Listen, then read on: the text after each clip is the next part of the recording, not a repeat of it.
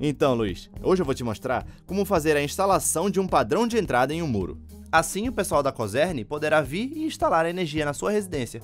E o que é padrão de entrada? O padrão de entrada é composto por equipamentos que precisam ser instalados na entrada da casa, sempre virado para a rua, hein? Para que assim a energia elétrica possa chegar na casa. Esse padrão tem caixa de medição, sistema de aterramento, disjuntores, eletrodutos e outros acessórios indispensáveis para a ligação. Se tudo for direitinho, de certa forma a ligação da Coserne é feita em menos tempo, pois não precisamos fazer correções e a Coserne não precisa marcar uma nova visita. Na hora de comprar materiais, temos que prestar atenção ao tipo de carga, disjuntores e condutores, hein? A escolha certa desses materiais garante a qualidade e a segurança do fornecimento de energia. É, agora eu vou te ensinar passo a passo da instalação. Tudo começa pela caixa de medição. Ela deve ser colocada na altura de 1,60m do chão, em relação ao topo da caixa. Depois, é a vez do eletroduto.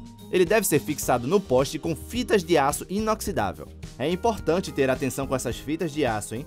Elas devem estar distribuídas ao longo do poste com espaços entre uma e outra. E por que essa pontinha é torta? Ah, essa curvatura serve para evitar que a água entre pelo eletroduto e quebre o medidor. Falando nisso, o eletroduto só deve entrar pela lateral, na parte inferior e fixada com arruelas e buchas de metal. Ah, e para proteger de possíveis sobrecargas, é preciso instalar um disjuntor compatível com seu medidor em uma caixa exclusiva, que deve ficar abaixo da caixa de medição, voltado para fora ou dentro do muro. E o poste? O poste que eu comprei deve ficar no máximo a 40 metros de distância da rede da Coserne. Já acabou? Ah, ainda não, hein? Por último, vamos organizar o aterramento. O fio terra deve ser instalado dentro do eletroduto, passar pela caixa de inspeção e conectar-se à haste de aterramento, que deverá estar posicionada.